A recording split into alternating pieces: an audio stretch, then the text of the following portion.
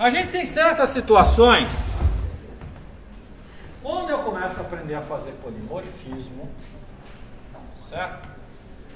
Quando eu começo a fazer polimorfismo, eu identifico algumas situações em que eu gostaria que a classe de cima fosse só uma representante, uma generalização de alguma coisa. Mas de fato ela nunca vai ser usada. Ela só está fazendo o papel ali de genericão, certo? E nesses casos, a gente vai perceber que tem métodos que a gente gostaria de declarar, mas que a gente não tem implementação para ele. Tá? E esse é o exemplo clássico da classe abstrata que o Márcio adiantou lá, chamando a atenção que seria o melhor exemplo para o polígono, certo? Que a gente vai falar agora. É, bom, isso aqui eu vou pular. Então, a ideia da classe abstrata, ela surgiu é, em vários contextos, principalmente no, na, nos contextos onde a gente tem o que a gente chama de uma família, certo? O que, que vem a ser uma família? Muitas vezes eu quero criar várias classes, certo? Que compartilham certas características ou certa interface. Vocês lembram que eu falei para vocês da ideia de interface? Então, a ideia de interface basicamente é a ideia de que eu vou separar a assinatura dos métodos que eu tenho disponíveis da implementação deles. Então, muitas vezes, eu quero tornar pública uma, uma eu quero generalizar uma interface de vários objetos. Por que eu faria isso? Eu vou retomar de novo um negócio que eu coloquei lá no começo do curso tá? Que foi quando eu falei para vocês das, das vantagens, né? Então eu falei para vocês sobre a ideia de que você tem uma coisa que eu vou chamar de interface, né? Que é uma espécie de separação, né? Eu vou, eu vou pensar separada a, a, a, a parte de comunicação de como ela é implementada. Então daí surge essa ideia de interface, que é esse cara que define separadamente a parte de comunicação. Né?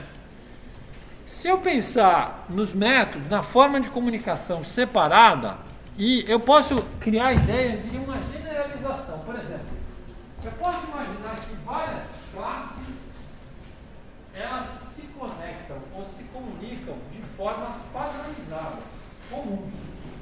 Certo?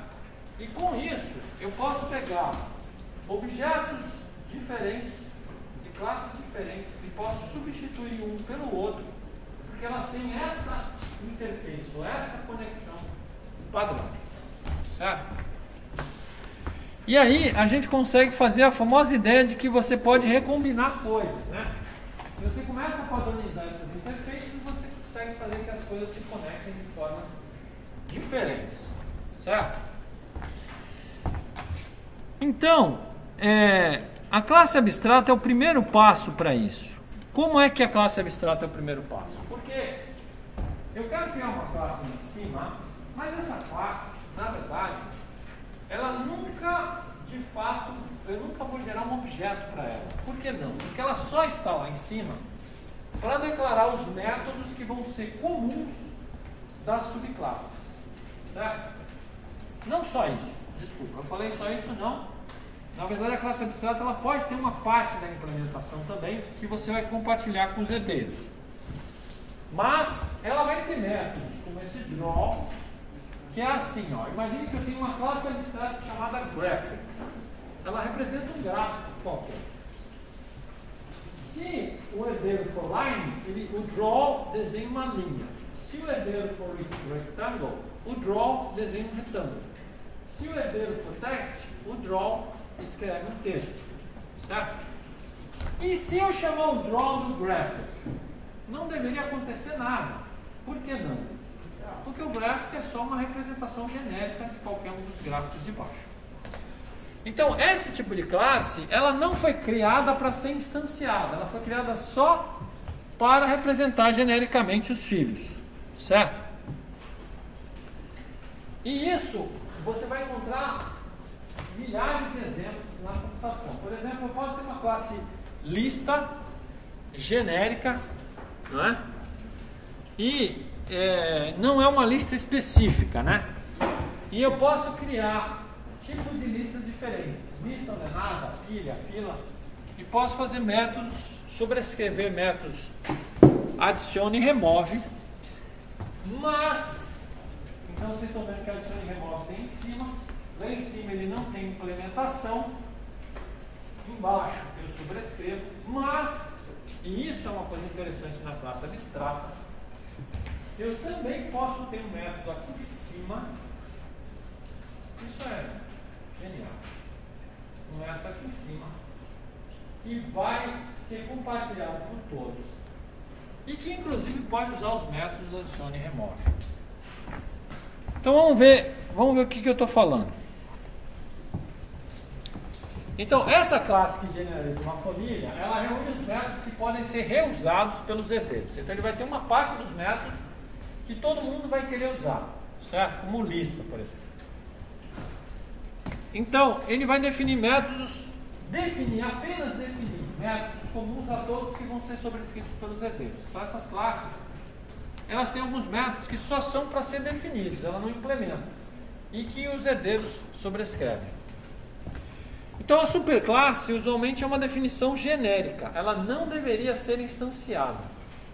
E a subclasse é, é, e ela não precisa implementar esses métodos que vão ser sobrescritos. Tá certo?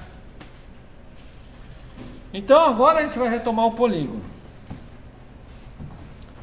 Então imagina que eu tenho um polígono, tá certo? E que esse polígono ele tem alguns métodos, como por exemplo Get altura, get largura e get área, certo?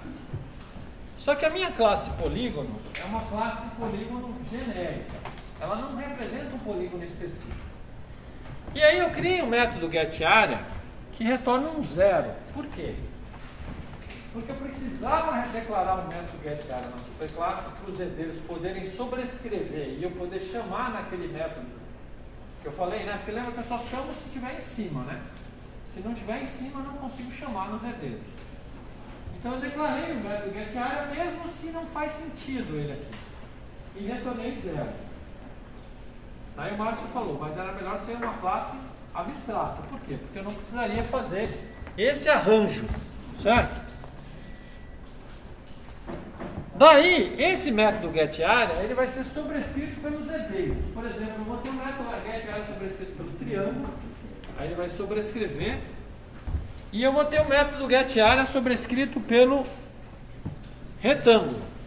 Então cada um deles tem seu getArea. Então o projeto é criar uma família.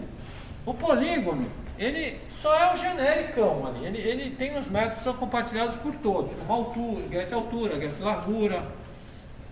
E os herdeiros implementam, sobrescrevem o método getArea. Só que o método getArea em si, no polígono, ele não faz nada. Ele não serve para nada. Então, a gente chama essa técnica de criar um método falso de stub. É um tipo de método que não deveria ser implementado, não deveria ser implementado, certo? E nem chamado. Ele só está lá fazendo o papel de representante, tá certo? E o polígono, ele é uma classe que é só uma generalização. Não faz sentido instanciar um objeto na classe de cima. É nesse cenário que a gente cria uma classe abstrata. Então, toda classe abstrata em Java ela não pode ser instanciada. Se você disser que a classe é abstrata, ela não pode ser instanciada. E por ser uma classe abstrata, ela pode declarar métodos abstratos. O que é um método abstrato? É um método que tem só assinatura, mas não tem implementação. Tá? Então, vamos lá. Aquele método que eu falei para vocês que não fazia sentido, que era o getArea, que eu criei um negócio falso retornando zero. eu resolvi declarar ele como abstrato. O que é um método abstrato? Eu só faço assinatura, ponto e vírgula, não tem implementação. Mas esse método só pode ser declarado se a classe também for abstract. Então, se você olhar lá em cima, no class, vocês estão vendo um abstract, dizendo que essa classe ela é abstrata, certo? O que significa que você não pode instanciar objetos dessa classe, tá? No UML, quando uma classe é abstrata, ela aparece em itálico. No título do UML, a classe aparece em itálico, certo? E quando o método é abstrato em UML, ele aparece em itálico, para dizer que ele é abstrato. Tá?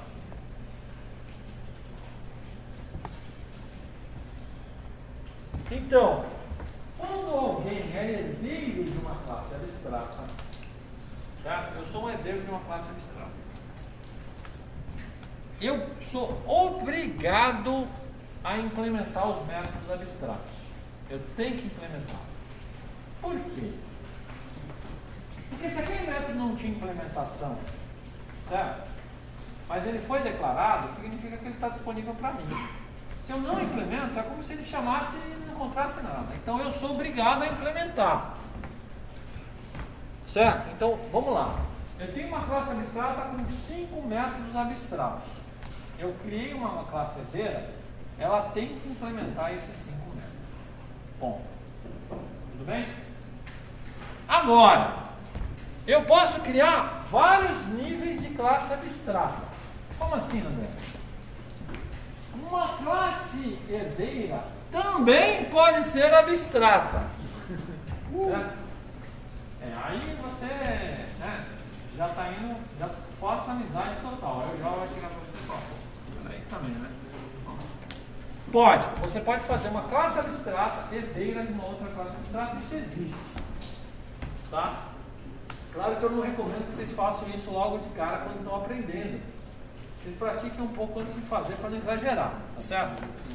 Às vezes eu tenho uma segunda classe abstrata herdeira da primeira, por quê? Porque se a segunda for abstrata, eu posso escolher implementar alguns dos métodos e outros não. Eles podem continuar abstratos, tá certo?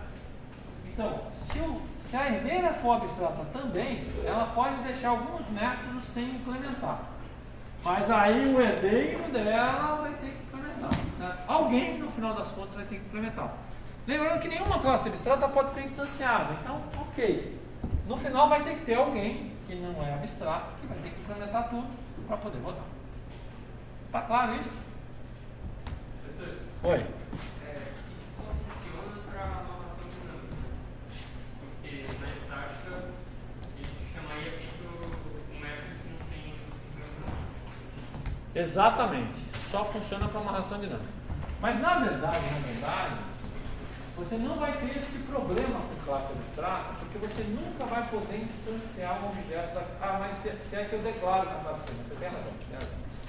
Isso só funciona com amarração dinâmica. Tá? Porque senão você chamaria um método que não tem nada.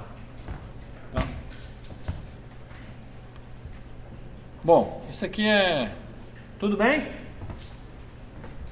Hoje nós estamos dando um pá, pá, pá, mas na próxima aula a gente vai fazer só exercício, tá, gente? Eu vou, eu vou, na próxima que eu digo, não na quinta, na próxima terça a gente vai fazer só isso e eu vou poupar vocês. É que se todos esses assuntos eles são ligados,